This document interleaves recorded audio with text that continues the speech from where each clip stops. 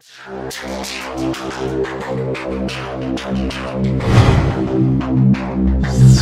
e Hallo Leute, was geht ab? Willkommen auf meinem Kanal zurück und ihr kriegt das nächste geile Gameplay. Dieses Mal ist auch wieder der einzige Tod, Leute. Also ihr merkt die ganzen Gameplays mit 0 oder einem Ton. Es hat hier so ein bisschen Tradition. Es ist eine 47er Gunstreak auf Marokko. Eine richtig coole Map. Ich feiere die total. Ich mag die Maps bei Black Ops 4.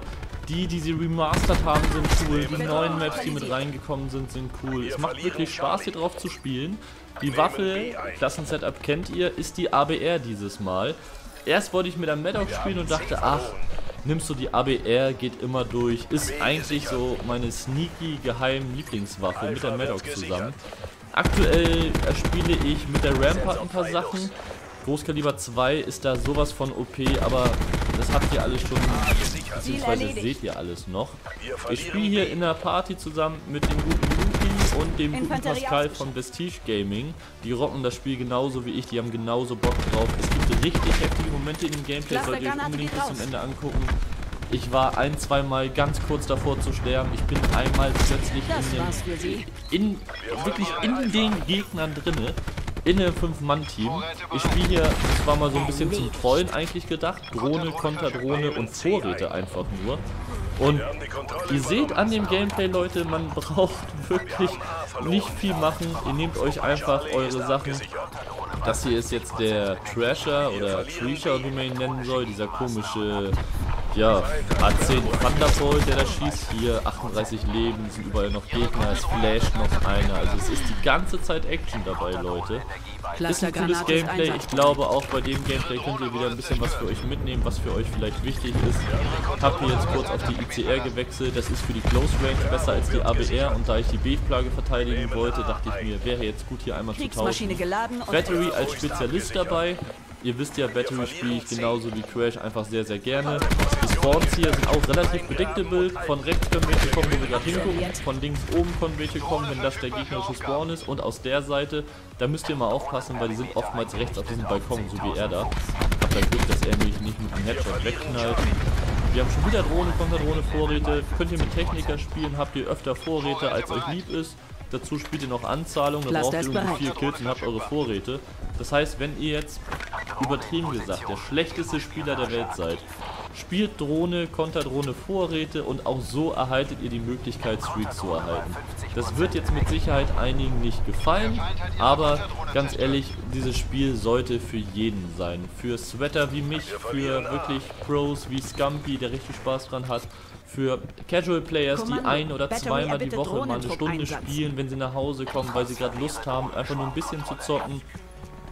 Und würde ich es unfair finden, wenn diese Menschen keine Chance hätten, nicht trotzdem den Spaß zu haben, den Killstreaks nur mal machen, weil bei WW2 die Killstreaks waren absolut scheiße, das gesamte Game ist kacke, ich hasse WW2, weiß nicht, was sich die Entwickler von Sledgehammer dabei gedacht haben.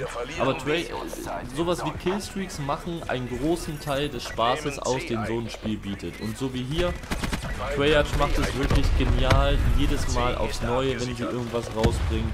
Die Killstreaks bocken, die, die Waffen bocken, die Maps sind geil. Es sind so viele Sachen, die man absolut positiv sehen muss.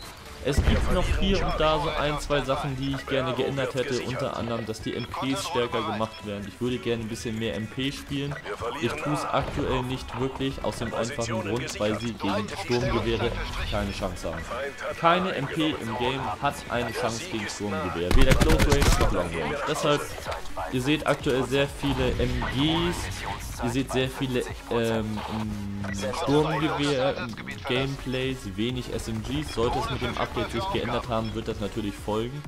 Mein nächstes Ziel, ich habe jetzt alle Sturmgewehre durch, was eine Nuke angeht. Ich habe alle LMGs durch, was eine Nuke angeht. Wenn die SMGs gebufft werden, wird es damit weitergehen. Und ich habe auch noch vor, euch Sniper-Gameplays zu zeigen.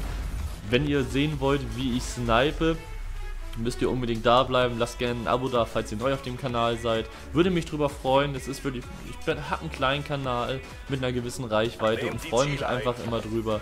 Wir werfen jetzt erstmal unsere Vorräte und snacken uns mal was Schönes daraus. Es ist wirklich ein Spiel, was, was für, für viele Leute gemacht ist. Es ist eine Umgewöhnung mit dem Heilen, aber ich muss euch ganz ehrlich sagen, mich hat es in der Beta vielleicht zwei oder dreimal erwischt, dass ich da nicht 100% sofort klar kam. Mittlerweile dieses Heilen, Schießen, Run and Gun hat sich sowas von eingefleischt, also überhaupt gar keine Probleme. Da kann sich auch jeder dran gewöhnen und ich möchte euch auch deswegen, das war wichtig für heute, einmal irgendwie so ein, zwei Gründe nennen, warum ihr Black Ops 4, wenn ihr es noch nicht habt, kaufen solltet. Einer der Gründe ist definitiv, das Spiel ist komplett. Man hat nicht wie bei BB2 das Gefühl, dass hier noch was fehlt und da noch was fehlt und dass das noch nicht erledigt ist und dass da noch was geändert wird oder oder. Die Server laufen von Anfang an perfekt. Man hat das Gefühl, anders als bei BB2, dass die Jungs von Freya, David von der Haar und Steve, wie sie alle heißen, absolut auf dem Punkt genau, schöner Wallbang hier, genau gewusst haben, wie viel Zeit sie brauchen, Ganze fertig zu bekommen. Und ich glaube, wir sind in einer Leidenschaft an dem Ganzen drin. Das hat man in dem Entwicklerstudio bisher noch nicht so gesehen. Jetzt, Leute, ich glaube, das ist die Szene, wo es richtig kritisch wird. Ich bin mir auch nicht sicher, ob das jetzt hier war. Wir müssen gleich mal gucken.